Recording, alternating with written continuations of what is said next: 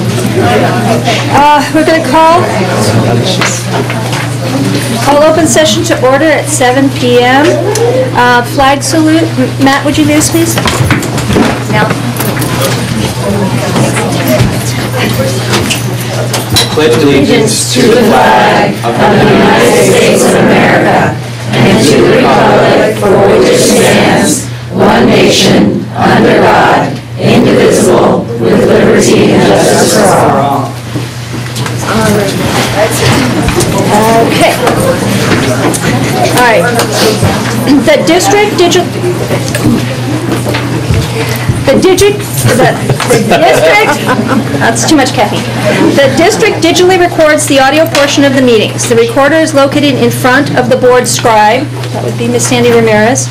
Um, All recordings are kept in the superintendent's office for 30 days and are available during that time period for inspection by members of the public on district equipment without charge. As a community service, uh, Pacific Community Television records and broadcasts the meetings, and the microphone at the uh, podium is for the uh, is for the camera. Okay? All right. Uh, The board met in closed session um, on three items, conference with labor uh, negotiator, public employee discipline dismissal, release and complaint, and public employee performance evaluation for superintendent. Um, No action was taken, however, at the end of this meeting, we will be going back into closed session to uh, finish items that we were unable to get done in the hour that we had. Um, We need an approval of the minutes for September 17th. I move. Um, Joan? Yeah. We call, uh, roll call. Oh, I'm sorry, it wasn't on, was it on the list, did I miss that? Oh, I did miss it, roll call, thank you, Sandy. Uh, Trustee Faust? Here. Trustee Gould? Here. Trustee Levy? Here. Trustee McShames? Here. Trustee Weideman? Here. Thank you. Okay, all right, so, appro- now that we know we're all here, approval of the minutes for September 17th, I'll move. Second? any changes? All in favor? Passes 5-0, thank you. Okay, we need an approval of the agenda and the consent agenda. Can I ask that we uh, remove 8G, the surplus equipment? Um, I just have a quick question about it. Okay, so the agenda um, and the consent agenda is presented with 8G removed. That will happen in the next, as soon as we finish with the vote on the consent agenda. I'll move it with 8G removed. All in favor? Was there a second? Yeah, Richard was our second. Okay. Matt was the first? Yeah, yeah. No. Richard was the move. Oh, wait, I'm sorry. I'll second. Thank you very much. Okay, Okay, sorry. we're done. We're real sticklers for Robert's Rules of Order. Okay, good. Okay. Um, So now we want to talk about 8G, which is de- declaration of surplus equipment. So Josie, could you give us a presentation on what that item is about? The um, item is for the 1998 um, 28-passenger and wheelchair bus. The bus has broken down on the side of of the road several times and had to be towed back to the um, yard. At this time, um, the cost of repairs is $3,640. The last time we spent, uh, every every time it gets towed and brought back to the yard, it's $2,000 to $3,000 to repair. So at this time, staff does not feel that it's worth uh, keeping the bus um, because it just costs too much to make the repairs. Okay, and how much do each of the van, how many passengers do We each of have the vans three carry? of the white um, vans. Okay. And how many, how many people do those carry? Right now, we're transporting about um, 30 special needs students throughout the district. Okay, all right, I'm, I'm good. Uh, I move approval on item 8G, is that Okay. right? Okay. Second. All in favor? Passes 5-0, thank you. Okay. All right, let me make sure. Okay, we are to communications. So, the portion of the agenda is available to the public to address the board on any issue that is not on the agenda. The maximum time allowed for any speaker is three minutes.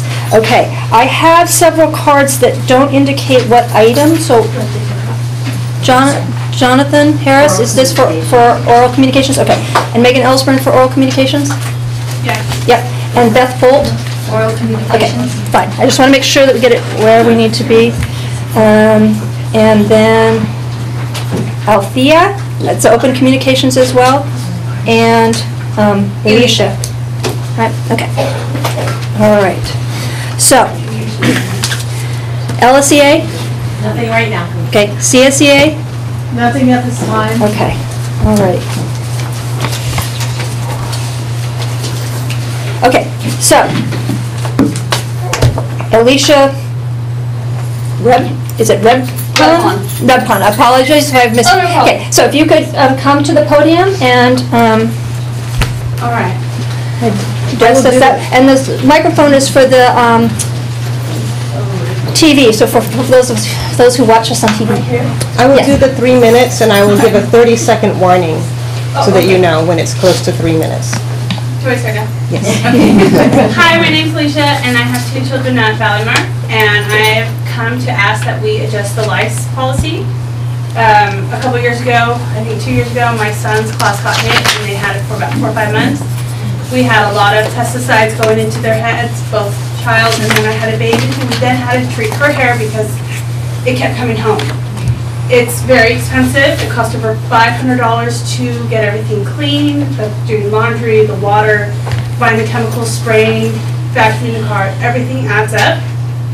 And I don't think that we should have to keep treating our children's hair because the kids who have the nits aren't gonna pop at exactly two forty when we get out. They just pop whenever they feel like they wanna be had. And so we may not catch that one live one in their head, but there are kids that are walking around with them and then they're spreading them. So I'm just asking if, when a kid gets caught with lice, we do send them home right away and then before they are able to come back, that they have to be checked correctly and make sure that they're not spreading this. It may not be a health issue, as people say, but it can cause people to be anemic. Um, it is very costly, and I don't have five hundred dollars. I will pull my kid out of school. I will ask somebody to come home and teach my kid, but that is also not fair for my child to have to take time out of school because they're itching their head all day long. So that's what I'm asking. And I'm sure this hits all the schools. Because the fun look isn't so great after so many days. Yeah.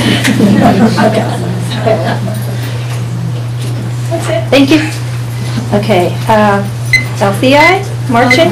Alethea. Alethea, Yeah, thank she- you. She pretty much said the same thing that I'm Okay. gonna say, and I don't wanna waste anybody's Okay. time. Um, But you need to do it at the podium because people, that way, believe it or not, people actually do watch. And I actually sometimes get questions about what was said because the audio wasn't as good. Thank you. Hi. Um, we've got a number of parents who are, are feeling the same way. It's, it's, we live in an apartment and it's so expensive, so expensive, I mean, above and beyond. I don't wanna be paying for it anymore. Um, I've never done this before, so I'm a little nervous. Um, what was I gonna say? Um, yeah, we're treating our kids over and over again with pesticides, and the classrooms are, are, the kids are being taken out of classroom, it's getting disrupted. Uh, It's just not fair, it's not fair for any of us. It's not fair at all, and I don't know if you guys agree, but, and if you've ever had lice, because it's gnarly. And even after I was treated and my whole house was treated, I scratched for days. I was scratching in my sleep, raw. It's gross. It's gnarly, and we shouldn't have to do this anymore. Yeah. And treating your kids over and over and over and over again. And then the nits or the lice are becoming resistant to it. So then what do we do?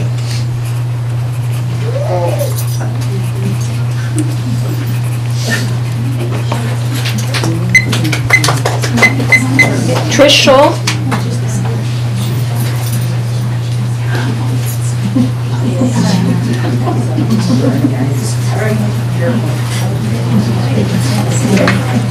Good evening. Um, My name is Trisha Scholl. I have two children at Vallemar School. Um, I think I know most of you on the school board, and I think one or two of you may have been on the board at the time that this policy came to light with the lice issue. And um, I know before that, it was no nits at school, you were sent home, and then it got reversed. And so I'm not necessarily here tonight to argue one way or the other on that policy. I think you're going to hear a whole lot of that from a lot of families at Vallemar and other schools in the district. Um, What I would like to stress, though, to um, our superintendent and to the school board is perhaps this is our time really to get all of our parents and our kids educated. Um, I think the core problem here is that people have a stigma or a shame associated with this issue, and so they hide it. Something happens, they don't tell anybody, and then boom, it's, it's infected our schools. Um, So I don't know if the proper way is at our back-to-school night, but I would think, you know, many different means can be used. Um, Just sending home a flyer, this is what it is, some people don't even know what it is. I mean, honestly, I was a teenager on a traveling softball team and had no idea, and I started scratching my head, we shared helmets, etc. And next thing you know, I had it, I didn't even know what it was at the time. So a lot of it's just ignorance, and people don't realize how to treat it, what it is, um, how it spreads. So I think if we can start at educating all of our families um, with flyers through our website, back to school nights, you know, whatever it takes. But I think that's going to really help this issue. So I thank you for your time. Um, Beth Bolt?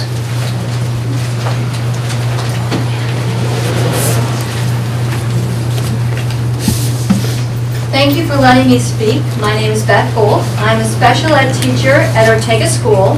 Tonight I have the honor of reading my friend Colleen Dillon's letter. She's a second grade teacher also at Ortega. To the collective members of the Pacific School Board, Pacifica School Board, according to the district survey several years ago, I am considered a highly qualified teacher. At this moment, I certainly don't feel like that holds any weight with you. The general perception is that the school board prefers to play ostrich, burying their heads in the sand and refusing to cooperate with an interest-based bargaining contract. It should never come to us against them. We are all in this together for the sake of the children of Pacifica. I have worked tirelessly to achieve my distinction of highly qualified.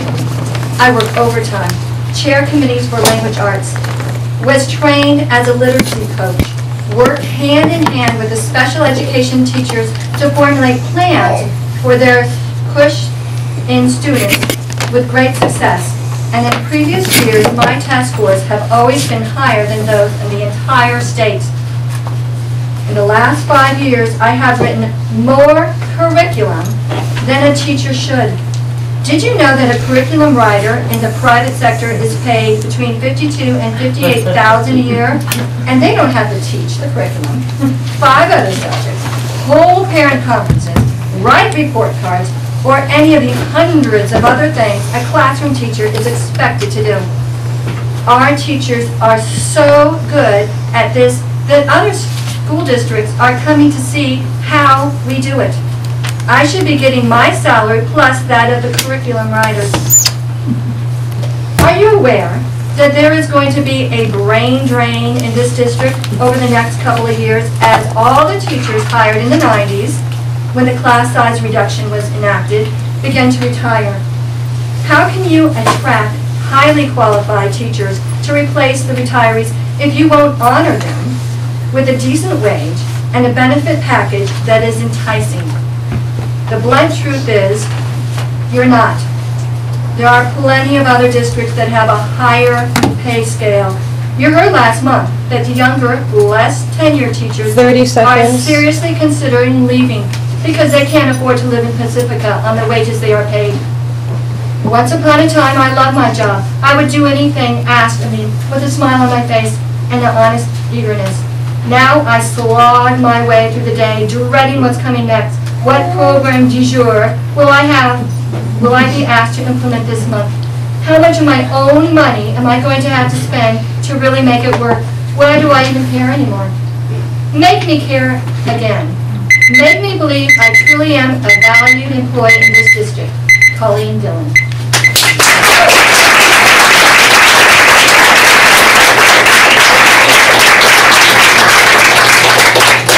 Megan Ellsburn, and then Jonathan Harris, and then Jennifer Mitchell, just so people kind of know when when you're coming up.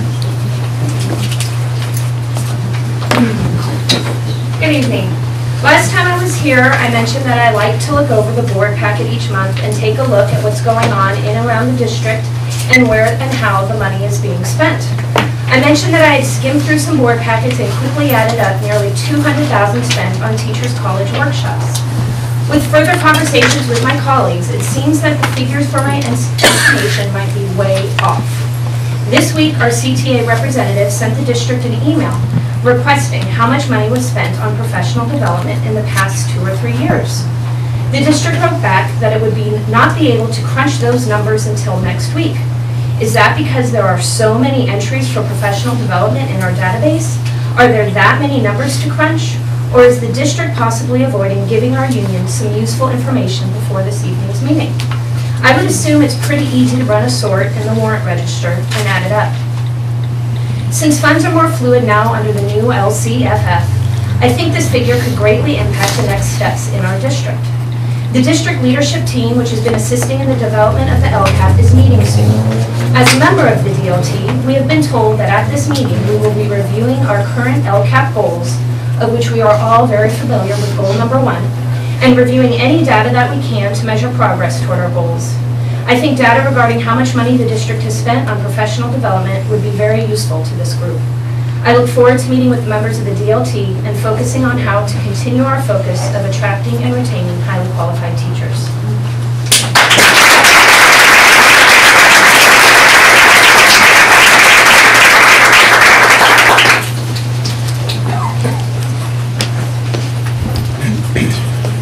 Hello, my name is Jonathan Harris, and I'm a fourth and fifth fifth grade teacher at Ocean Shore School, as well as co-chair of the negotiations uh, team with the Laguna Salada Education Association.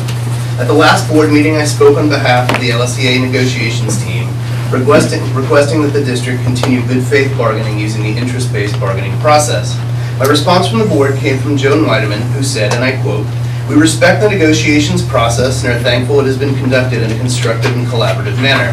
We remain confident that the parties will craft a mutually acceptable agreement by bargaining in good faith.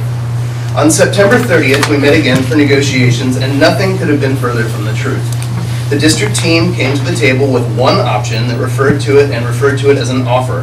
This offer was, for the most part, the same offer that was presented to LSEA at the last bargaining session, the same offer, off- offer that was loudly rejected by the members of this, uh, this union at the last board meeting. The LSEA team presented several options, which were shot down by the district team before they declared impasse.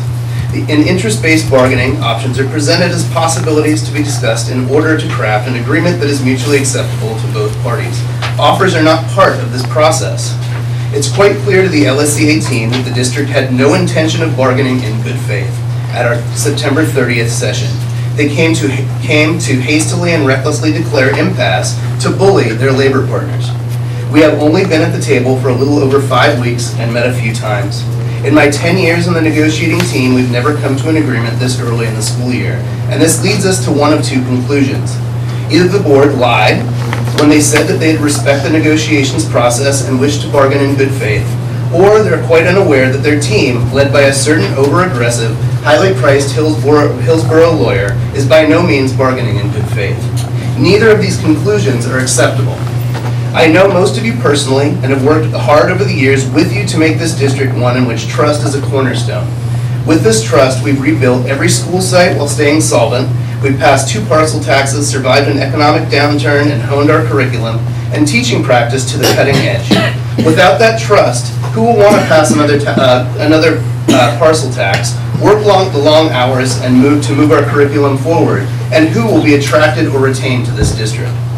Your teachers loudly decried to you what attracts them to this district, and you ignored it, offered us an unacceptable offer, and then declared what you do, that what you do, excuse me, declared that you do not even respect us enough to sit at the table anymore. 30 seconds. All the while, you've made plans to spend the money that you should be bargaining with.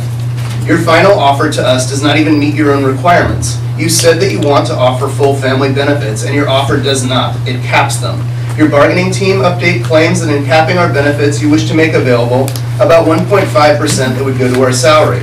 If you really want this, make it part of your plan. Otherwise, why should we trust that you will? Especially after betraying us with this- this declaration of impasse and wild spending.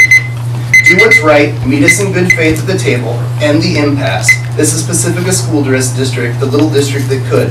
Don't make it the little district that won't.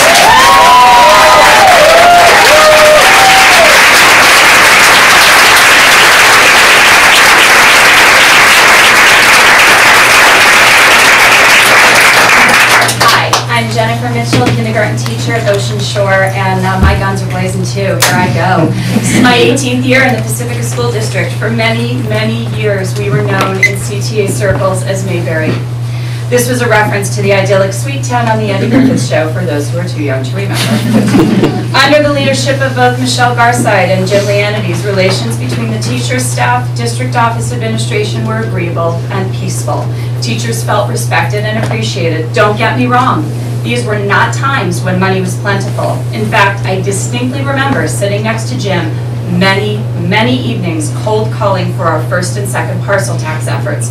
District finances were openly discussed with all stakeholders. There was an honest feeling of being in this together. Sadly, Pacifica is no longer Mayberry. The teachers and staff all made sacrifices during the recession and subsequent lean times. We thought we were all in this together, as we had been in the past. Unfortunately, this has not proven to be the case.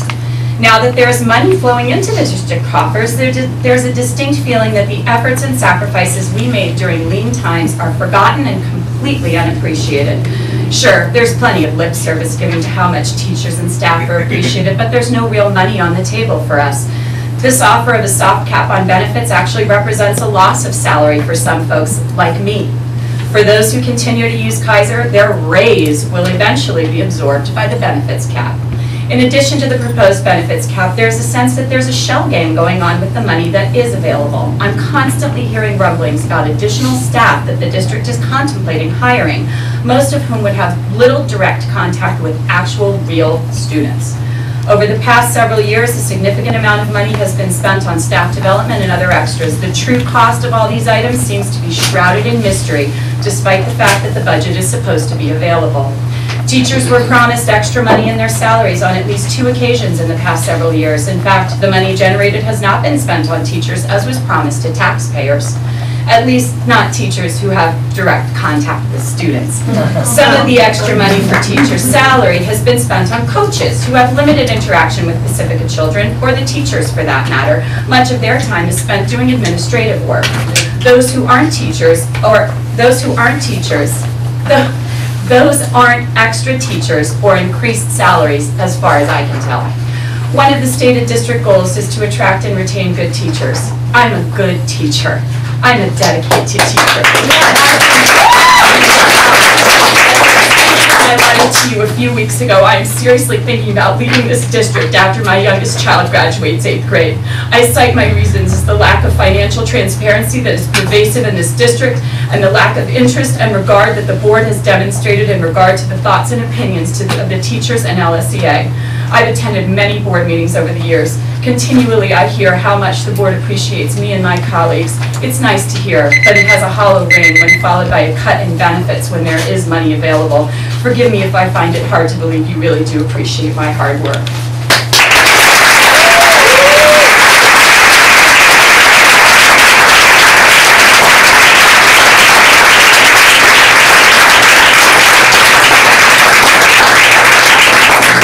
Okay, so I have Patty, and then I have uh, Patty McNally, and then Isla Dwyer, and that's the last card that I have.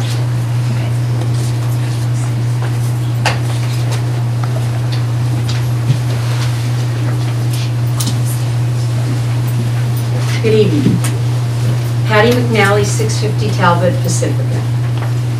I look up at the Board of Trustees and I see people that I've known for many years, that I've taught their children. People who I know have spent countless hours volunteering in classrooms throughout the district. Some even sleeping on the cold, wet ground or or over a hot beehive oven with teachers of the district trying to deliver the highest standard of education to our children. I look at the board and I see people who teachers have worked side by side with to raise money for music in this district or a family in need in our community. I see people that we've spent hours phone banking or walking the streets of Pacifica delivering the message to support parcel tax. I look at the board and I see people who I personally respect and felt had listened to their constituents and the teachers and staff of this district, that they believed, as I do, that Pacifica School District is a unique place where there is a strong, positive morale and work ethic, and we are are proud of who we are. No, we're not the same as San Francisco. or Fresno, or Hillsborough, for that matter. Our history is different, and the sacrifices made by the people before us need to be respected. I look at this board and I'm saddened and confused, and I see people who are unfortunately not hearing the message of teachers, who are listening to a high-priced attorney who seems to enjoy going to impasse.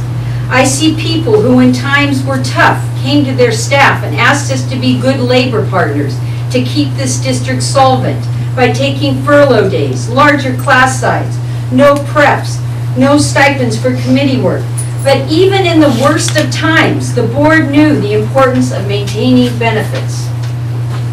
I sat at the table and understood when times were better, things would change, and it would be your turn to reinstate things that were cut, and it was your turn to be good labor partners.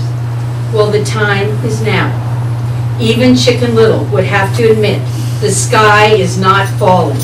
Money is finally coming into this district. So, as this new money is being spent, and even though in our LCAP it states that the number one priority is to attract and retain highly qualified teachers, the board insists to cap benefits. The board may call this cost containment, reallocation of funds, not sustainable funding, but to teachers in this district, this is a cut. So I look at the board and I ask you to think about the damage that will be done to this if this action continue, done to us if this action continues.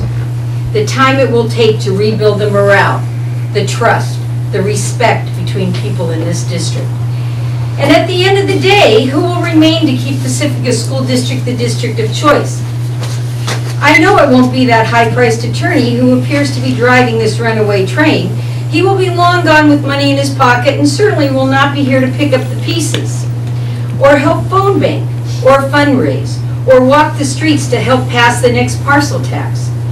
No, the people who will be here will be the teachers, your staff, your community.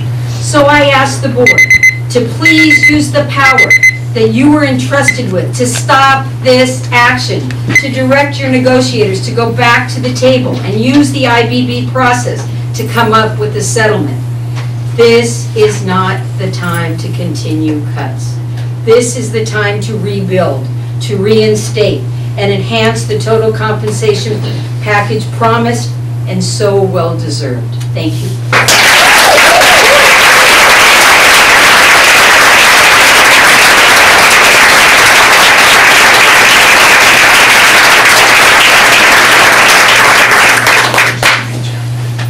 This is short and sweet and on a personal note. I'm Isla Payne Dwyer. I'm a teacher at Cabrillo School and have been for the last 16 years. My husband started his career here in this district in 1991. He taught at Ortega Middle School for 10 years. During this time, we started a family and he consciously began to think about how best to provide for all of us. Since we are a low-paying district, he made the decision to leave for a district, district that offered close to double his salary. I started my career here as well, and even though my husband pushed constantly for me to move, so I might be paid what he thought I was worth, I chose to stay.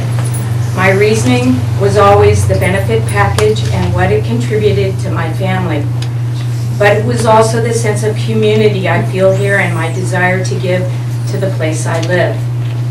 I hope that I stand as yet another example of the countless teachers in this district who chose to work here knowing our pay was among the state's lowest, but have the consolation that our salary is offset by our current benefit package. Please don't make it seem that I made a huge mistake.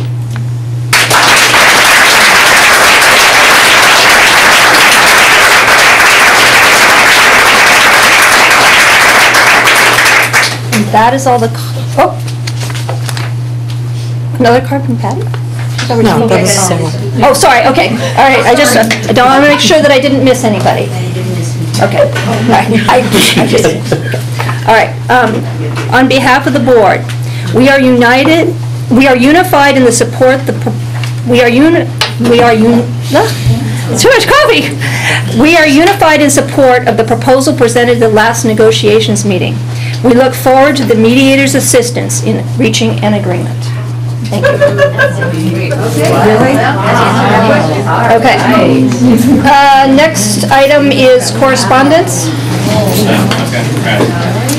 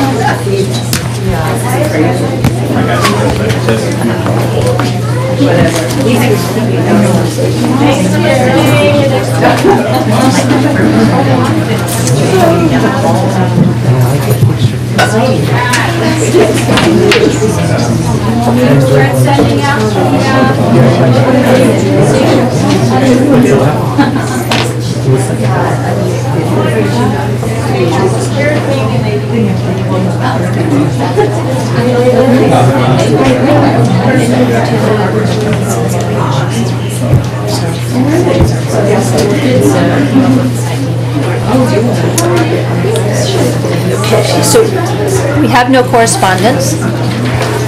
Board Superintendent Communications?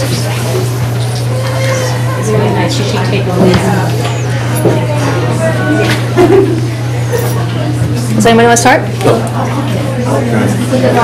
Uh, I attended the memorial service for Jim Freeland, city council member who passed away. Uh, Also attend, it was down at the beach, it was quite moving, actually. I attended the meet and greet for uh, Joe DiCarlo, the Success Summit up at Skyline College, and the uh, last collaborative here at the district last week nothing too dramatic from any of them. But there is a, a string of, of the, both the Success Summit and the Collaborative are the, just the need for agencies to work together. And, uh, I mean, I really think it's a time, one of the only plus sides of gone through the recession is that a lot of uh, barriers between agencies working uh, at cross purposes, I think, have come down. Oh, good. Richard, you want to go? Sure.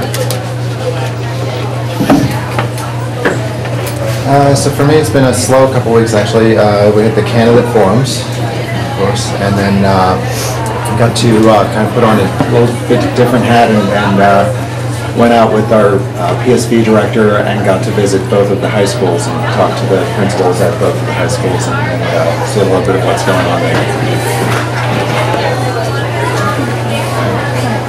Are we going to close the windows? to- Thank you. All right, Matt? Uh, I was also uh, here to say hi to Joe and was at the Sunset Ridge Candidate Forum. Uh, I spent some time at uh, Fog Fest working with some candidates for the high school board. I did the Sunset Ridge Back to School Night, and it's Back to School Night and barbecue. Um, The Joe Meet and Greet, uh, Candidates Forum, Giants Game, Movie Night at Sunset Ridge. Um, Well, I attended the, both of the candidates forums the last couple weeks. So, Wendy? So I'd like to thank um, Eileen Manning Millar and Connie Menifee, who served as our moderators um, during those two forums.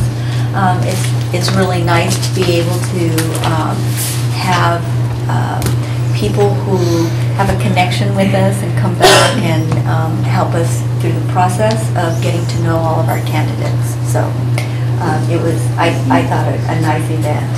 We will be having our uh, SVMI Professional Development on Monday for our Professional Development Day, so we're looking forward to that and um, hoping that it will be, again, a strong opportunity for the teachers to continue to work on their Common Core standards in mathematics.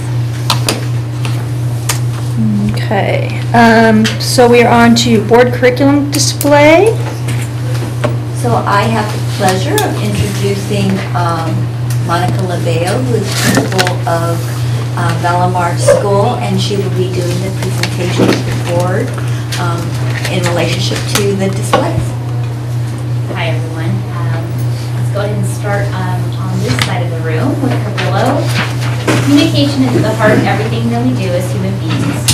Our students learn to communicate about feelings, express their needs, understand the needs of others, and the whole community through well-rounded communication skills. In the 21st century, one of the top priorities of employers is whether or not employees have solid communication skills to work with one another and the clientele that the company serves. Our display shows various ways that we communicate with one another at Cabrillo to build a strong community of lifelong learners. In Miss Welch, Richards, and Mrs. Hayes SDC classes, students use icons to express their needs and transition from one activity to another. For the first day of school, students in Miss Crane's kindergarten first grade combo class got to express how they felt about coming to school on the first day. Others in Miss Donnelly's class have been working on how to work and play with others by making sure that they fill their buckets with kindness and compassion. As students move through the grades, they learn the importance and power of words through expressing their thoughts and feelings about particular words of their choice through one little word, a fifth grade activity Miss Sullivan and Miss Anchick's class. Upper grade students communicate with one another and their teachers using Edmodo and Google Docs, while we introduce them to appropriate ways to speak to one another on social media, texting, and email with the Common Sense Learning Curriculum. By the way, the Common Sense Learning website is a wonderful resource for parents who may have questions about the ever-growing internet and age-appropriate movies, games, and online sources for children. The entire school receives weekly communication through teacher newsletters and the weekly electronic envelope, which includes news of the PTO and the principal's weekly newsletter. Moving on to Ortega. Ortega's display represents the different ways that our students communicate at our school. Pictures show the students thinking, talking, and writing about their work. The flowers represent the blooming of their ideas. And now, Ocean Shore. Diane Barghouth's third grade class recently went to the San Francisco airport for a field trip. The kids focused on how technology is used all over the airport and how people and objects move around the airport. These two areas focus on communication working well in order to facilitate the- that people and items get to where they belong.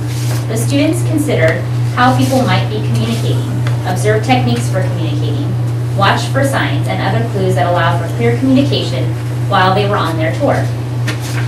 Students theorized about ways that make communication more effective and efficient. In one example on the wall, students practiced using the aviation alphabet that pilots use by writing out their names using the alphabet.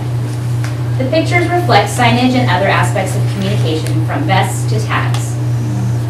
The last example is of the children's writing experience of, of reflecting on their day with the title Communication at SFO. And Sunset Ridge. At Sunset Ridge, we encourage and celebrate communication across all subject areas in every setting. Sunset Ridge's communication board shows some of the ways that our children use communication skills. Our second graders started off the year writing poetry. They did a gallery walk in their classrooms and then got a chance to read their poetry to their classes. Students are also doing math talks. You can see a poster from Miss Campbell's third grade class.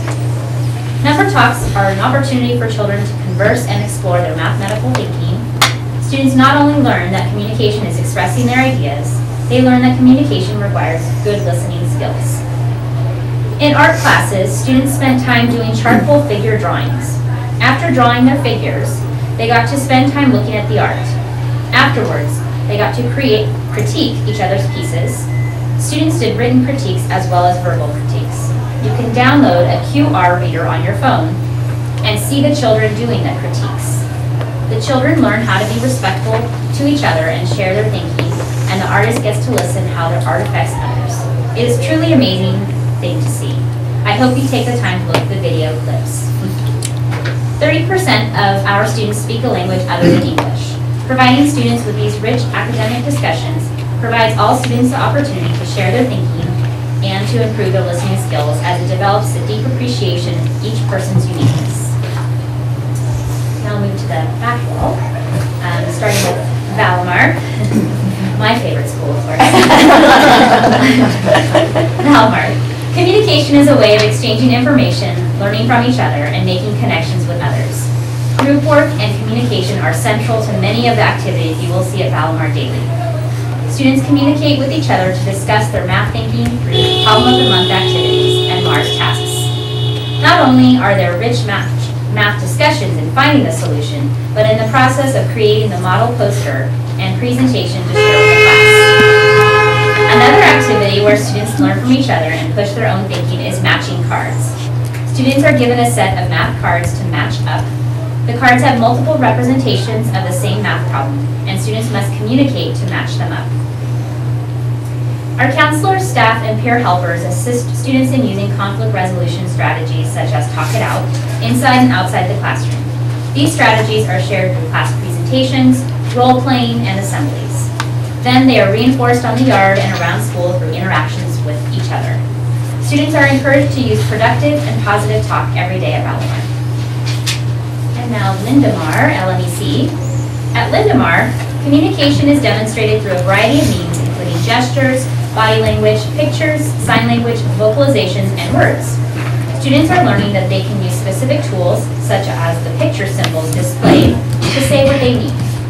At preschool age, verbal communication may not be the dominant way many students express themselves or interpret the world around them. Preschoolers often communicate through their body language, play, and art. The teachers and staff at LMEC make every effort to capture teachable moments for communication throughout the day. This occurs during snack time as students are given opportunities to make requests for food and drinks. Time as students are given during circle time as students communicate with peers through music, calendar activities, and books, and even at recess as students are encouraged to make turn-taking requests.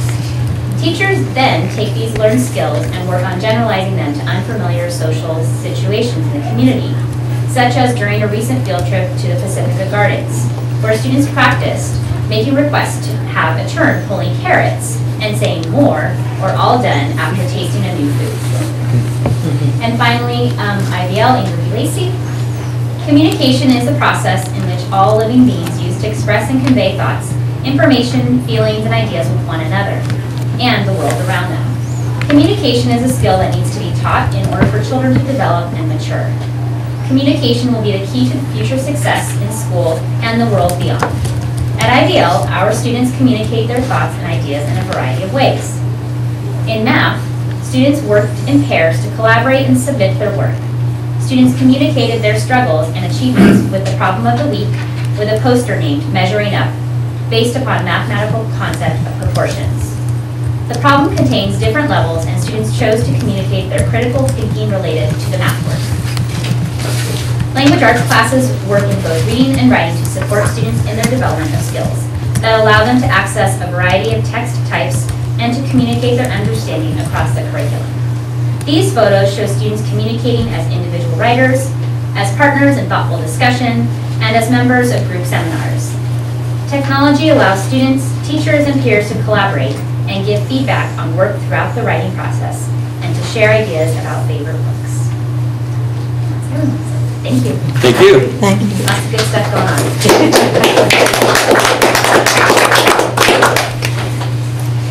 I think what's sort of interesting about this is, you know, when we say communications, we think about reading and writing and speaking, but really this has brought out a lot of things about art, about math, about visuals, um, different languages. I mean, it's really an interesting, communication is pretty complex, and the ability to teach children on all those levels is pretty, pretty amazing. Okay. All right, the next item is an update on the Prop 39 uh, California Clean Energy Act. And tonight we have a presentation from uh, Mr. Andrew Lyman from ARC Technologies. We have a PowerPoint, and if you give me the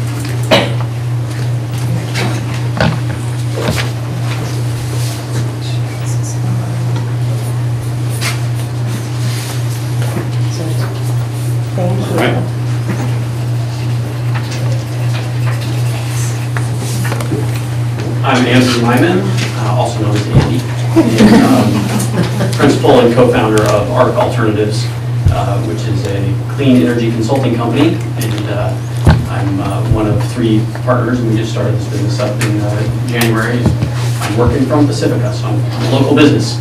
Um, I, I know you all don't think about uh, Proposition 39 in energy every day, and that's why you hired us, so I'm going to start with a little um, overview and background of uh, what Prop 39 was, talk about um, benchmarking, which is how we compare the district's energy use to other schools, and then get to the meat of it, which is um, audits and the expenditure plan, which is the uh, required document from the California Energy Commission in order to get um, money to invest in energy upgrades.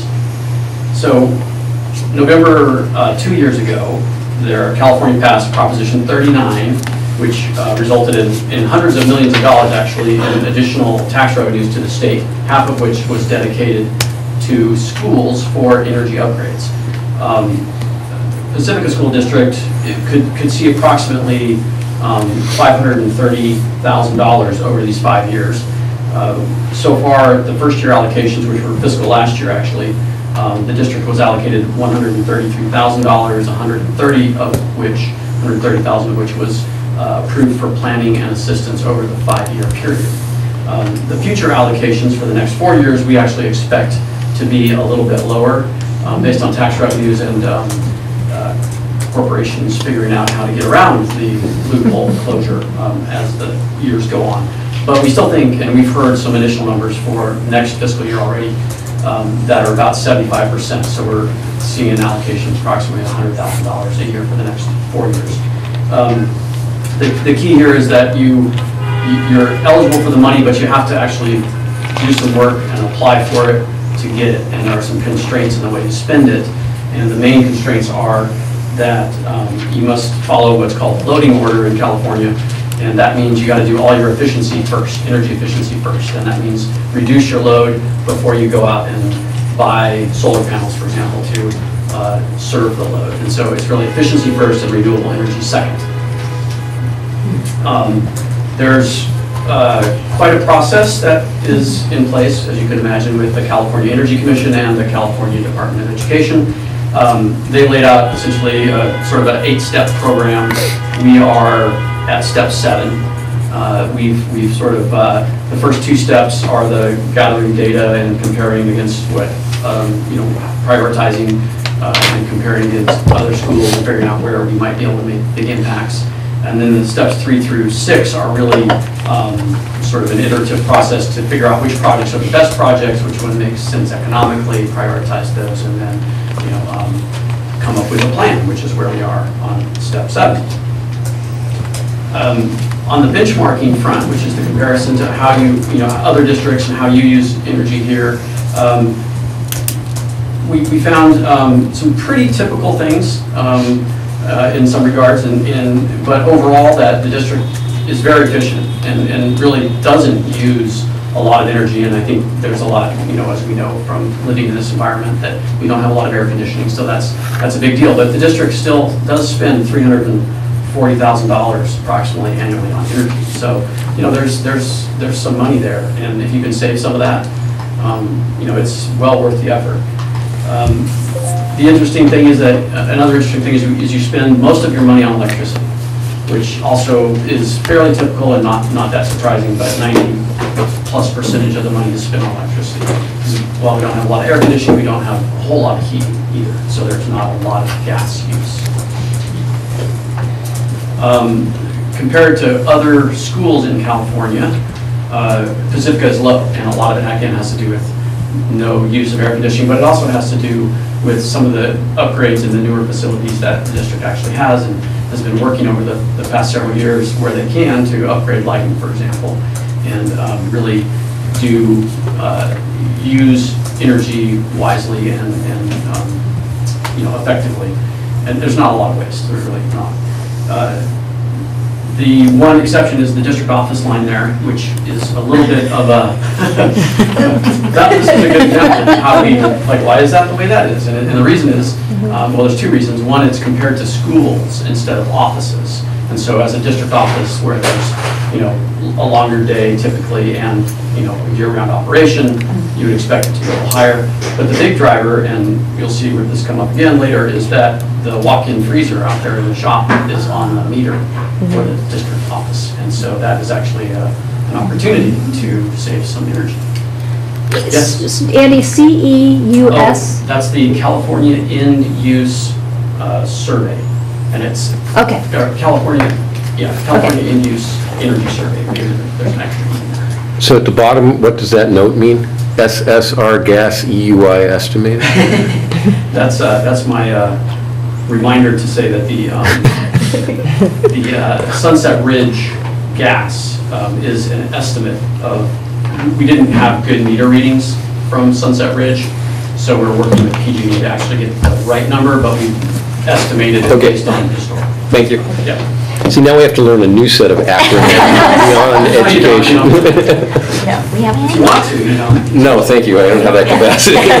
Yeah. Um, So even though the benchmark results show that we're low, we use low energy, or have low energy use here in the district, there are opportunities. In fact, um, you know, there are always opportunities to, to save energy and money. And I think that's a recurring theme as we're, we're we're seeing this in other districts as well. Um, Some districts that have a lot higher energy use have done a lot more specific energy efficiency, you know, they still have a ton of potential to save. So we found actually one and a half million dollars worth of projects that we could do. Um, And I'm not going to go through this whole chart, it's sort of for your reference, and um, you'll see it again here. Uh, This is a sort of trimmed down version of that 1.5 million. Uh, You know, since we don't have 1.5 million to, to, you know, spend on energy projects, and we have to meet certain economic criteria, which is called a savings to investment ratio. That's one of the big ones that the Energy Commission is requiring and the Department of uh, Education is requiring.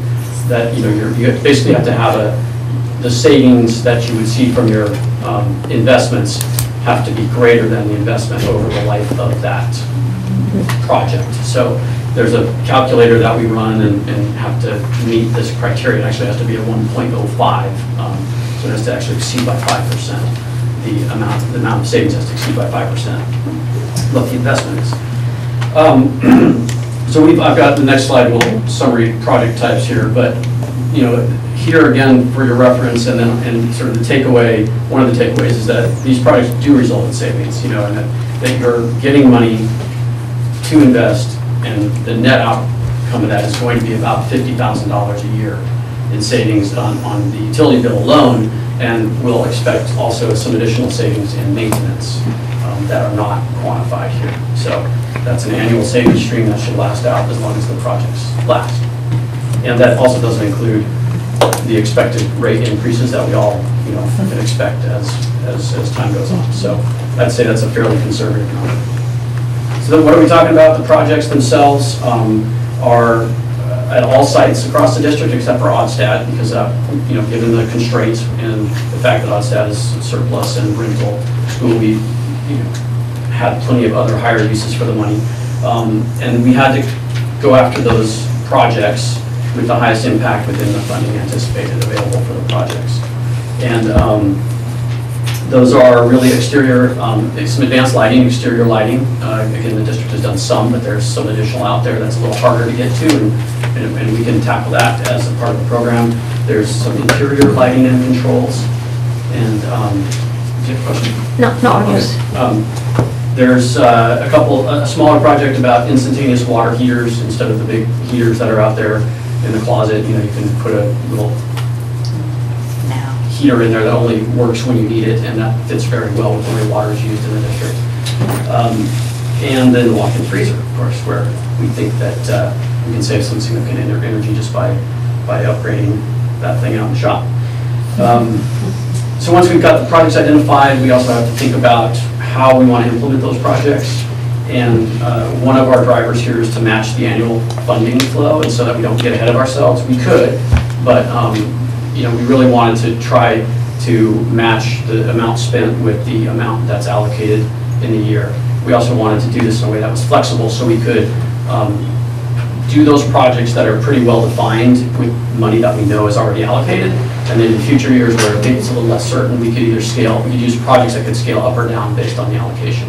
And so we want to do the, um, the exterior lighting, the walk-in freezers, and the water heaters first, and then over time, tackle the lighting and controls, because those are ones we can ramp up or down and still see good savings.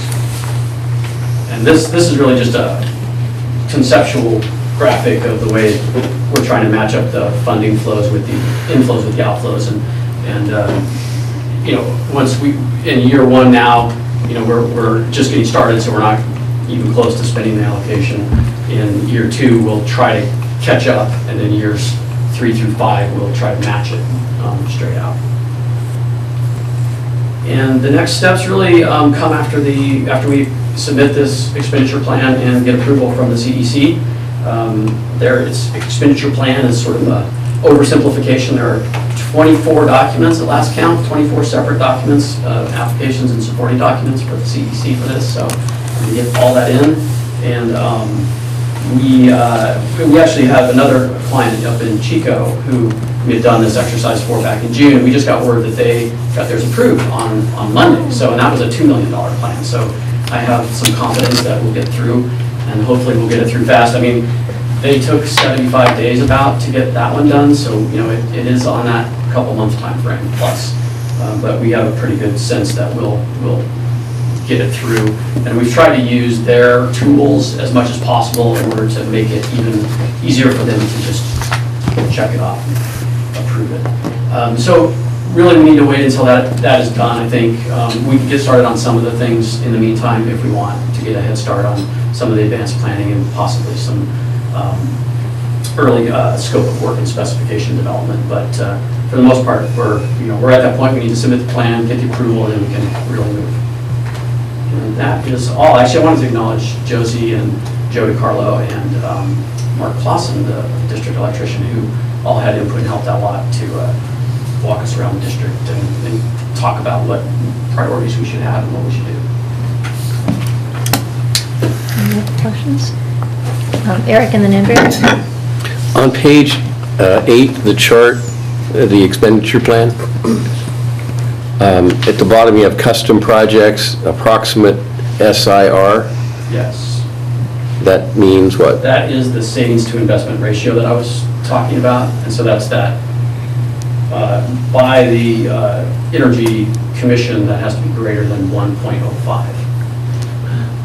And so that is the saving, the net present value of the expected savings stream divided by the cost.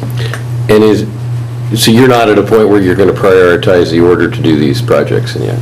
Not based on the SIR, um, but based on the, I mean, we, we did have to prioritize, we had to cut that list from 1.5 million down to 400,000. Right. And, and so we did use it for that.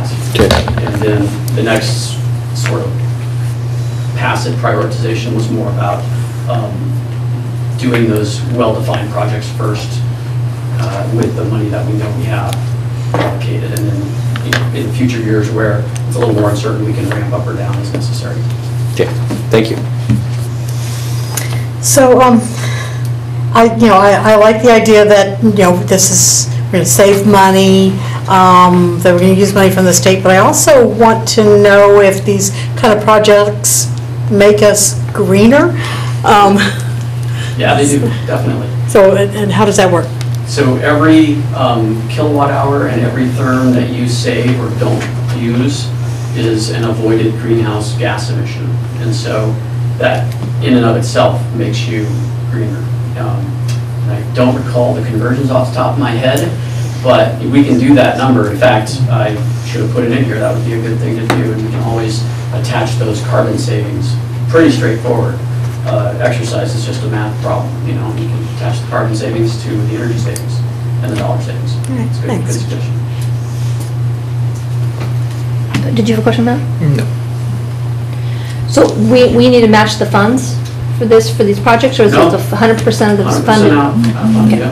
yeah, yeah. Because we receive on an annual basis for the next five years, correct? Funding out of this Prop 39. Okay. I- I'm wondering if there is conversation about any expansion or extension of this. You know, I have, I've just heard little sort of murmurs about it, but I, I haven't heard anything definitive. Um, I, you know, I probably, and I would, I would advocate for it, and, and that not to spread the same amount of money over more years, but get more years Right. of funding would be, a would be a great thing. So I'm sure that uh, there's somebody working on that already. Yeah. Uh, If I could, a quick follow-up. So you're looking at about a 15% savings after all of these projects are implemented? Right. Are there any projects that are of such use that we should consider trying to fund them from other sources? It's a good question. Um, We, you know, there are some projects that were just on the, on the edge um, of, you know, if we had an extra hundred thousand dollars, it would make sense, it would have met the investment um, criteria. Um, But the, the reality was actually that our job of prioritization was pretty clear cut when we sat down with with Josie and Joe, that the, the, it just happened that the, the good projects were, were right around that number of the actual funding you had. And the ones that were more marginal were, you know, some of them were very much more marginal. And so it's not, um, I mean, I think there might be a few, but I don't think it's a, it's not, it's not a million and a half dollars. Okay, thank you. Okay, thank you very much, Andy. Thank you. Um, So the next item is a public hearing statement of assurance, sorry, it's been a long day. Do you need less caffeine or more caffeine? Assurance for pupil textbooks and instructional materials, and this is, this is an action item, yes? Yes. Okay. So this is. Oh, wait, this is a public hearing. Public hearing. Okay, hold on, we gotta make sure that we're in the right. We're, we're fine. We're great. Okay, all right. Okay, so we get a, we'll get a presentation, we'll open the public hearing for comment, and then we'll have discussion. Okay, Okay, so thank you. I will present, um, this is, this resolution is due to Education Code 60119, which uh, requires the governing board to hold a public hearing and to make a determination through a resolution that each pupil in, in the school, in each school in the district um, has or will have prior to the end of the fiscal year sufficient textbooks or instructional materials. So um, we're happy to, to note that we do have materials at the schools. Um, We do a cycle, and we're trying to tighten that timeline even more of starting to order in the spring for the next year so that we have the, the books and materials available for the teachers upon their return uh, in August, because they all like to count them, etc. Uh, We purchase consumable books, and we replace textbooks that um, have been lost. Uh, One of the things that we're finding as with the um, adoption of balanced literacy is that we have less use of the hard textbook, so we have been able to uh, provide uh, chunks of dollars to teachers to order for their classroom library, the leveled books. So we're really trying to beef up classroom sets of leveled books in, in each of the classrooms. Any question? Or open for public? Okay, we're gonna, it's 8:03, we're gonna open public hearing. Any public comment? No public comment, close public hearing. Sorry. Uh, Anything from the board? Well, If you're swinging that hammer, no. Um, Do we need to approve this declaration? We will, yeah, we, we're gonna have to vote here in a second. Um, Can we shift some of that money for um, the textbook adoption? Because I know we, we had, we had set aside some of the um, Common Core money for textbooks, and then we spent it on technology. So, yes. Okay. So Okay. the answer, in a, in a short, short- in a in short short? way, yes. So, and we have, we have been doing um, some movement of textbook, but I don't, I don't necessarily know, are we getting textbook dollars like they have? No, the- everything with LCFF is local control, so we're not getting, the only money we're getting is the lottery, the restricted lottery, which is specifically designated for instructional materials, including textbooks. So if you're, and I, so I think you're talking about the, co- those, the Common Core Right. money? And I, We- Yeah, so from a budgetary perspective, we had set aside Common Core money for the amount of textbooks, but then because we weren't ready to buy the textbooks and we needed the technology, we spent it on technology. So we need to start putting money aside for future textbook adoption? Is that what we need to do, is a little bit in the budget? Yeah, When we Josie? closed the books, um, the last two years, we had approximately 150,000 of textbook money set aside. Okay. Um, We were not able to add to it this year when we closed the books, but ideally, I think you need about, what, 400,000 Yeah. for a math adoption? And so there's 150,000, and then as we can, we'll, maybe the state will provide more funding, or we'll try to add to it for the math adoption. Okay, so that's just a thi- thing to keep kind of in mind when we're doing budgets. Okay. um, uh, We have, do we have a motion? I move that we approve Resolution 2014-10-08-A. I read that. Second. All in favor? Passes five thank you. Okay, thank you. All right, so now we're on to uh, Constitution Day. This is a information item. Right, this is just an information item. Um, Constitution Day is an American federal observance that recognizes the ratification of the United States Constitution. And uh, in Pacifica, our sites observe Constitution Day on September 17th, to the- oh, should say 2014, sorry, Oh. in various ways. And so, But let's, we did pre- it up- yeah, we we? did it last year too. Really? You need to do it annually, and it has to be observed on September 17th. So um, listed for you are a number of things that the schools do to commemorate uh, Constitution Day. And so uh, I do need to um, share that I think that we, we try to take this uh, opportunity to remind students of, of our government and um, the students have the opportunity to do some fun activities to, to really talk about citizenship and, and what our government, how our government works. Okay, so uh, the next thing is the final teacher assignments for 14, 15. This is an information discussion item. So um, every year, we want to acknowledge um, all of our teachers in their current assignments. And the list uh, that was provided for the board lists all the names of our Pacifica School District teachers and their respective schools, grade levels, and so forth, where they're assigned for the 14-15 school year. And um, it also gives you our staffing details. And as I had mentioned at the last board meeting, um, we are, based upon enrollment and staffing, we're at um, equitable allotments.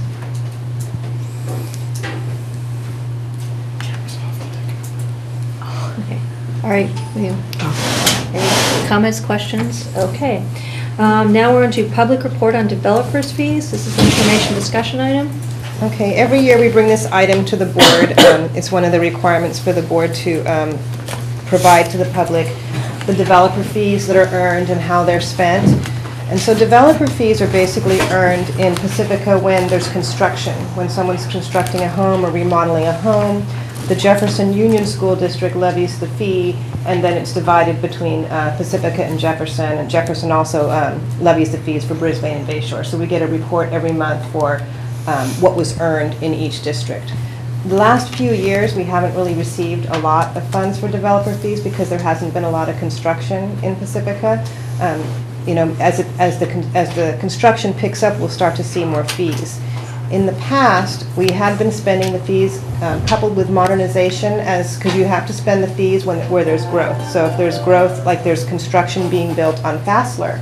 So if those houses generate developer fees, then you should use the funds in the area that, it- that the fees were earned. Like you could add something to Ortega or the schools nearby.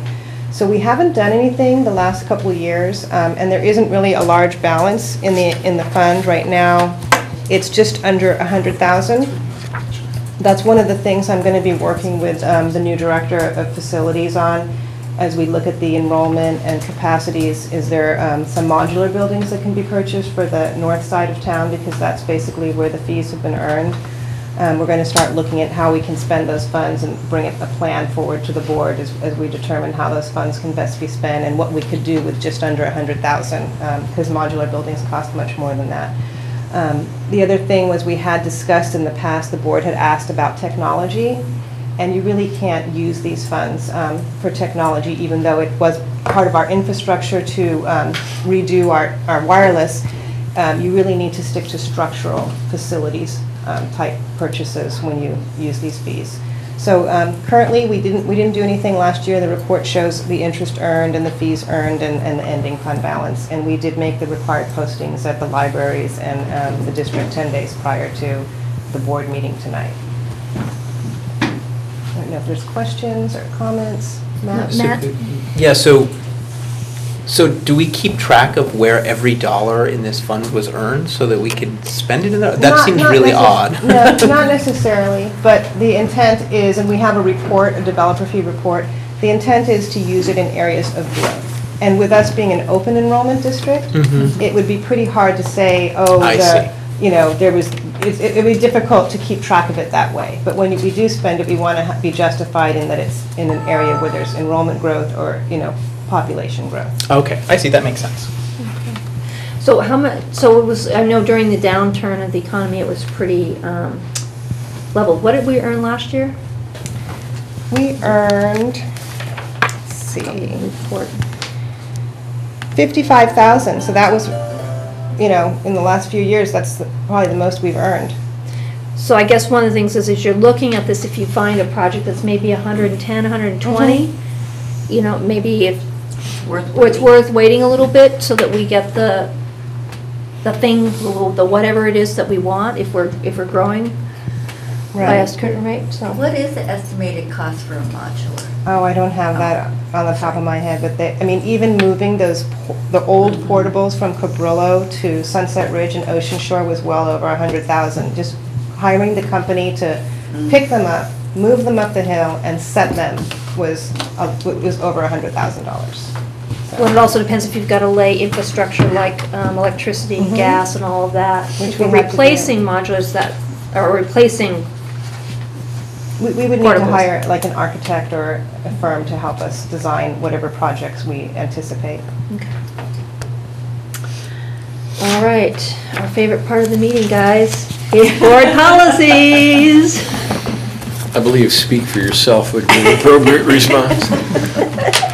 You make me feel bad. Okay, here we go. Um, So this is, this is item 12A, which is the April uh, manual maintenance, and under that is board policy 3260, which is uh, fees and charges. Any changes? Okay. Sorry. And then the AR 3260 that goes with that, the how-to. No? Okay. Um, let's see, that was all under that item. We're into August, uh, 12B, August 2014. Oh, goody, there's lots here.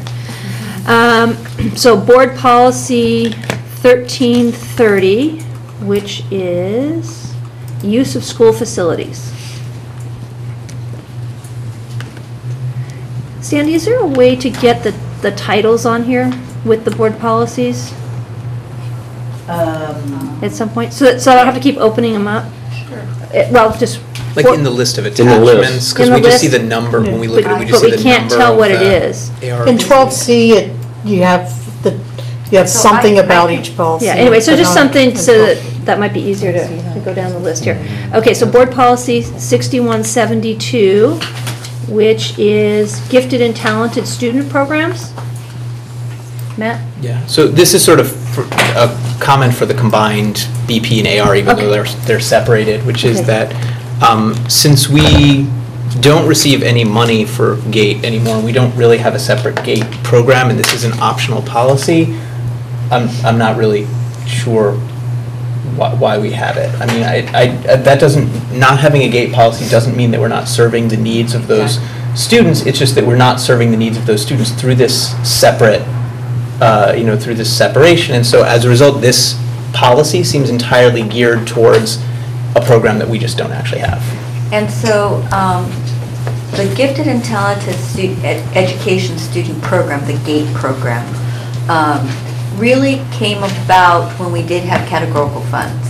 And so there were many schools who would use those funds that we received from the state for GATE um, to have, add staffing for gifted and talented students, and they have um, primary classes or intermediate classes.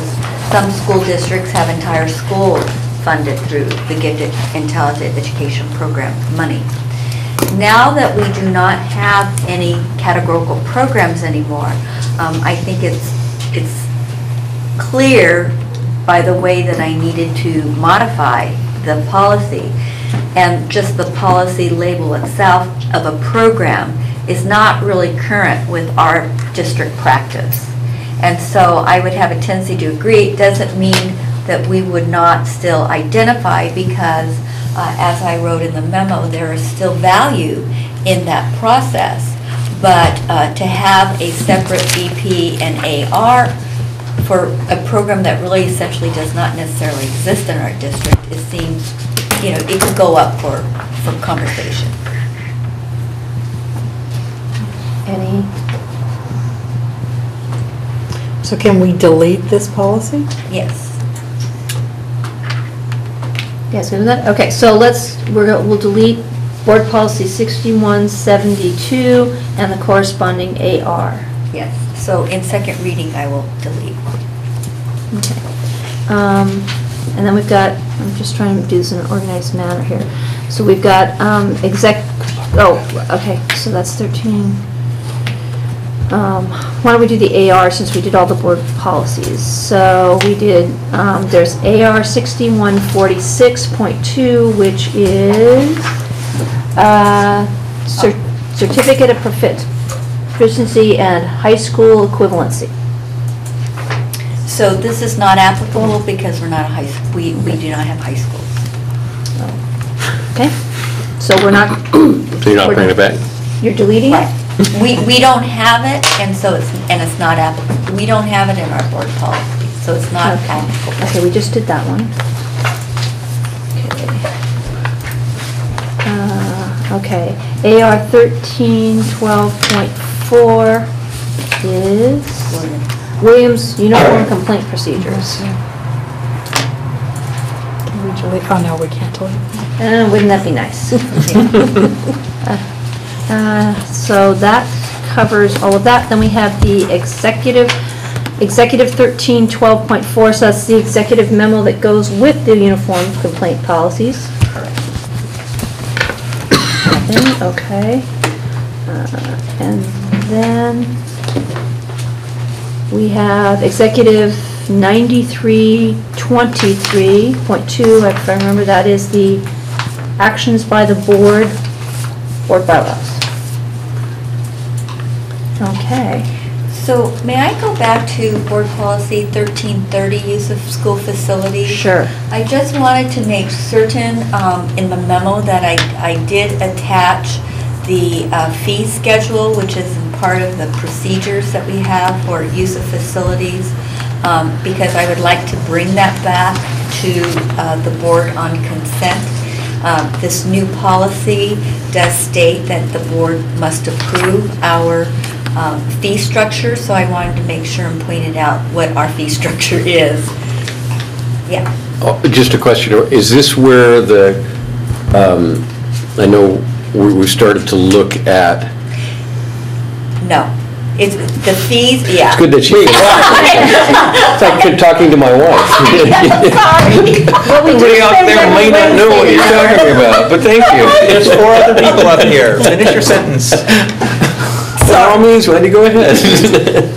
Because I, I, I thought that would come up, and so in the memo, I did address that I know Joan and Eric were gonna work with Josie and, um, around lease, the lease, um, how we lease or rent to different organizations, et cetera. Right. This is really about just the evening use of a room or things like that. Okay. Thank you for clarifying that. Yeah, So sorry. adroitly. Sorry. I apologize. So this is the one-time fee Right. usage, ver- or two times, rather than the uh, rental? Ongoing rental Oh, release. Yeah, to use the gym or multipurpose room and things like that. Okay. I think we covered everything. Can I just get a clarification on that, that last one, that 9323? Okay. That's about, uh, what, a supermajority? With action, these are actions required, requiring a two-thirds vote? Well, two-thirds of us is three and a third. Do we have to round that up to be a supermajority and have four? Yes. Or is this, oh, okay. Yeah. Okay, So that's, yeah, supermajority is four, four votes. Okay. Just a- Mathematician. Well, I just, I just want to get clear. Okay. Eric? Just a process, because I know we're all learning to use this new system. Mm-hmm. Is it possible that the ARs and memos and be, that everything on one item could be one document? Because I find it very confusing this time, going mm-hmm. through and that they're all in different places, and I would, you know, maybe just my confusion factor, but if there was one document that had the AR, the BP, the memos, all. in- And the current policy. Yeah, everything in one that I could click on and get everything, rather than back and forth. So- Does that, the system let you do that, or no? I don't think it, does because I think we asked that question, because we wanted to reorder, is what I'm hearing. Right, so even if, Oh. if even for separate items, if you have BP thirteen thirty next to AR, Well, well, could you we- don't have one. Could we just put that in the quick summary then? Like, so we'll have all the attachments, but then in the quick summary, we could have like a list of the order that we should actually be looking at them in, and then, then that would help you. So like, in the quick summary, it could say like, you know, AR sixty-one forty-six, blah, what that is, BP sixty-one forty-six, what that is, and then, uh, you know, Right, and then That- if we, that if we should need to look at the specific document, we can then we click could and open download up. but it would help the president figure out what, what to do in what order. Right, we because got there. these, first of all, the public has no clue what a BP 6172 is, and frankly, I don't either. I was gonna say, if we don't, it's not a good sign. Yeah, So- that's great, got it. Is that just the system is just not as flexible as we might like? You know what it looks like to me, is it looks like it alphabetizes it for Yeah. you, because the board memo's in the middle, Oh, okay. so I, my guess is. is Oh, that- AR, right, very ARBPs, helpful. yeah. Yes, yeah. Hmm. That kind of helped that we And could put do things that. in numerical order. And put things in numerical order, yeah. So, Okay, so we got through all of that. Oh, now we got one more section, 12C, um, which is manual maintenance minor revisions. Now, minor revisions are a little bit different um, because it really isn't changing. um, There isn't a law necessarily, but uh, CSBA using that uh, system feels that there are questions that sometimes come up, so it's clarifying language. Um, So that's why I went ahead and used the current PSD uh, and just showed you where the change occurred, because if you were to use the CSBA sample, you would not see how it, how the change happened. So, Okay, so we have AR 6159.4, which is behavioral intervention for special ed students. Board policy 9223, filling vacancies. Board policy 9230, orientation. Board policy 614294, history, social science instruction. I have one question about this time. I apologize for not getting this to you before the meeting, but I lagged. Um, That Fair Education Act should, should, I, I don't see why that wasn't part of the board policy, because and, I'm it's, sorry, where are you looking? uh, board policy sixty-one forty-two point nine four, history, social science instruction. So, um, the Fair Education Act, we've done the board policy uh, around that one before. Um, it, it's about, you know, uh, history and social science instruction, and I, I wondered why that piece of ed code wasn't part of that policy. I can, we can um, pull it and um, I can do some research for you. I, I don't, That's the part that said that besides just the white guys you study in history, Ah, you gotta study the brown guys, you gotta Right. study the disabled, you gotta study, you know. And I- I uh, do- I would think gay that- And lesbian and, yeah, we could probably add that, you know? So, um, let me do some research on it. Right, because there was some ed code around that, wasn't there? Yes. You were right. Oh, CSBA missed that one. Yeah. But there was, the But weird also, thing the- the- they've been really lagging in including that into like the textbooks curriculum and things Hmm. like that. At the statewide level. Right, in terms of their statewide approval of adoptions. Well, they've been lagging about caring about history and social science in general. so that's- Okay, they're working on the framework right now, okay? So, Yeah. so I will bring this back. Okay. All right, so, um, it looks like we made it through that. Good job, guys. Now on to, um, our second favorite item, which is future agenda items.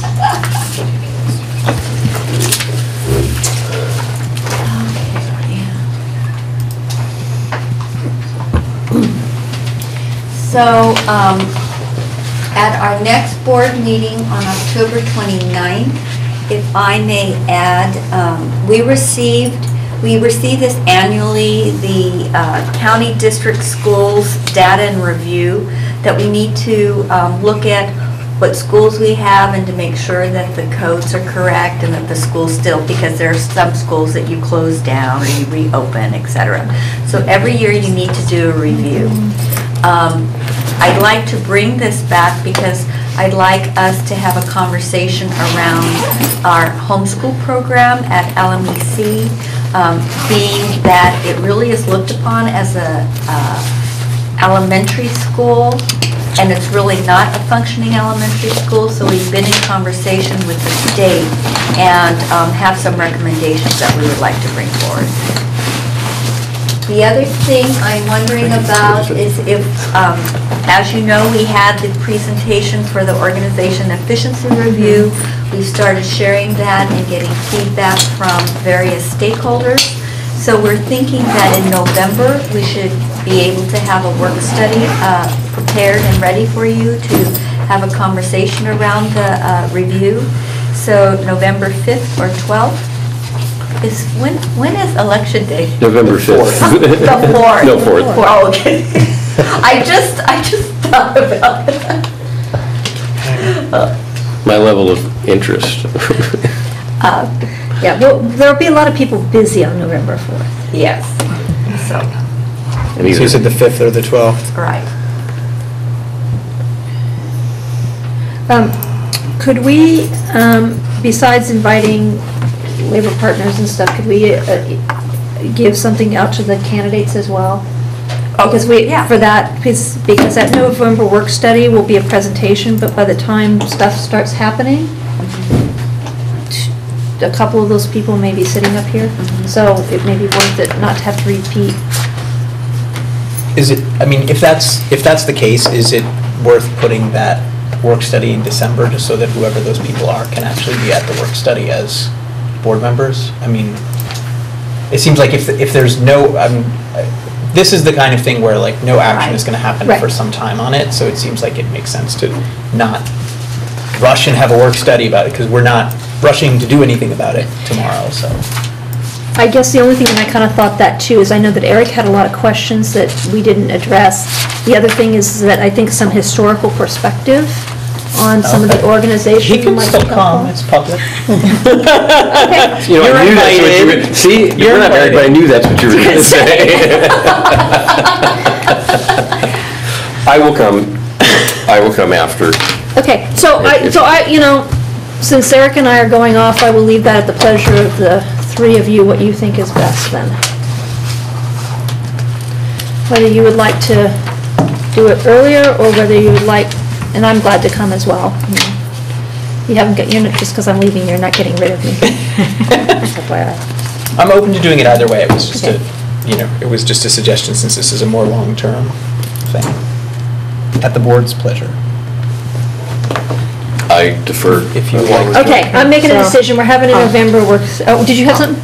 I was just trying to check my calendar to see if oh. any, any times of work here, and, I think- any months. are I mean, I can than go either way, so. but November 12th or November, um, Well, it'll probably be the 5th or the 12th. Because the 19th, we have a, yeah, uh, meeting, and then the 26th, I think, is Thanksgiving. yeah. Yes. Or 27th is Thanksgiving. Yeah. So the fifth or the twelfth? Mhm. Right. Uh, I can do the twelfth, I can't do the fifth. Would you like the 12th? 12th is fine. Okay. Yeah. The work study on uh, the org.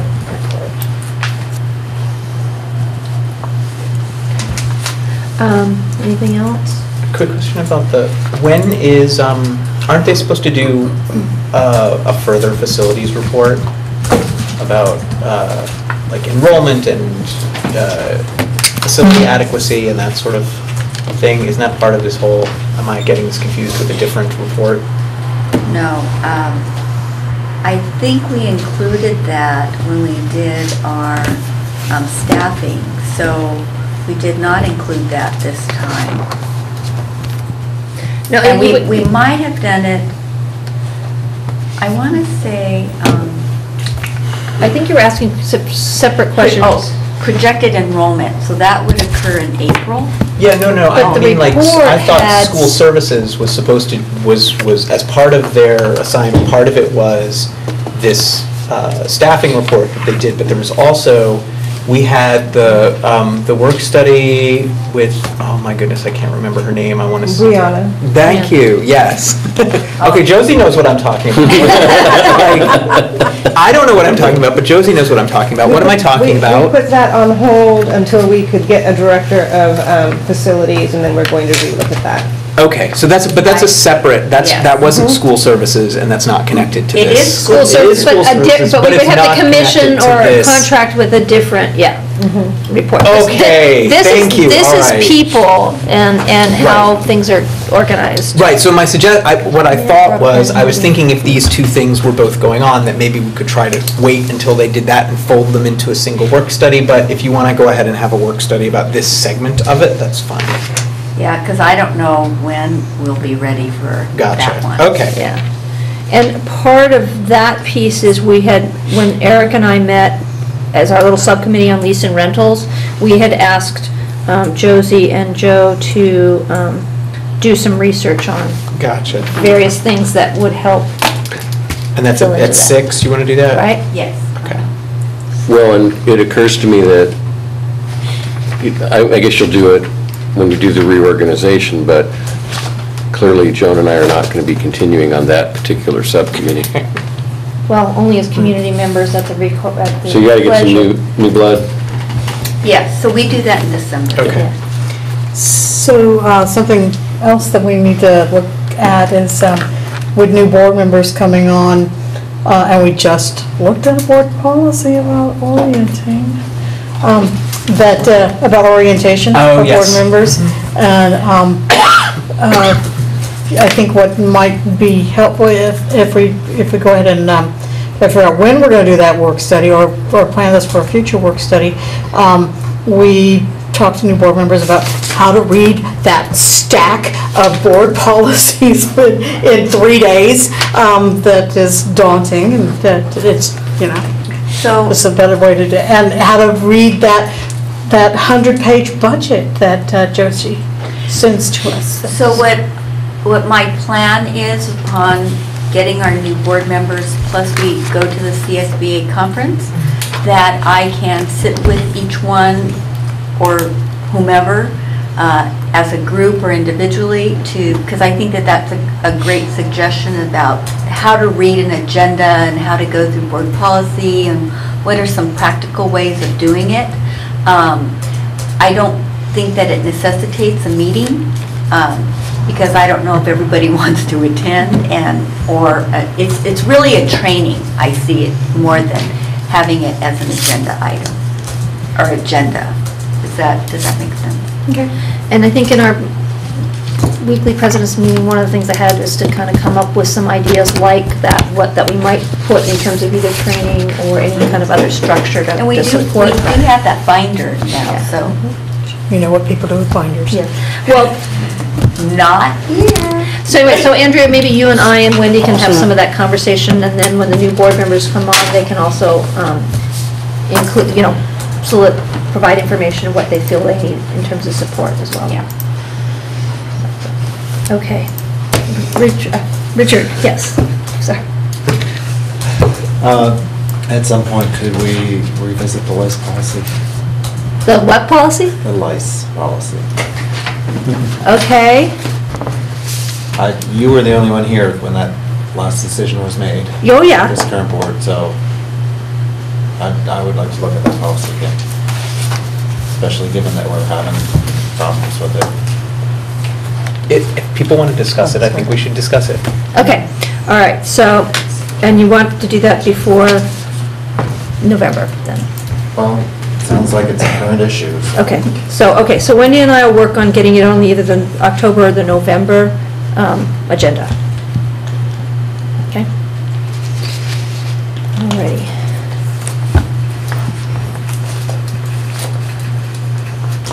I also wanted to remind everybody, since I see the SIPSA work study on, on there, and that reminds me to, um, once again, please beg the principals if we could get the SIPSAs with some considerable advance before that work study, because it is a boatload of paperwork to, uh, to read, and then we have a meeting the week after that that we're gonna have to read a boatload of paperwork for. So Yeah. I would really, really appreciate a little bit of, I and I know can't- how tough it is on them, I do. No, I, I think that uh, the 13th, as a matter of fact, this Monday, they're going to kind of do a run-through. So um, I think it's pretty close to being complete to be able to share with you. You. Because that- we did try to do that timeline, giving you about a week. Week. That'd be awesome. Yeah, to kind of get through it all. Thank you, I and know. please thank them for me. You get to thank them yourself. when That's you true, sit I do. down. The work. So, Okay, anything else? All right, meeting adjourned at 8:37. To close session? And back to closed session. Okay. Can we take five before? Yeah, I think we all More- need a Before more of this, moment. I I Do we need to, do we want to hear about goals for next? Is that not already in that, um, the document, the 14, 15? Can you stay for just a minute and we can, recon- we can re- regroup? Boy, we're pretty tired tonight. huh? Let me just say, Jim, it's officially October.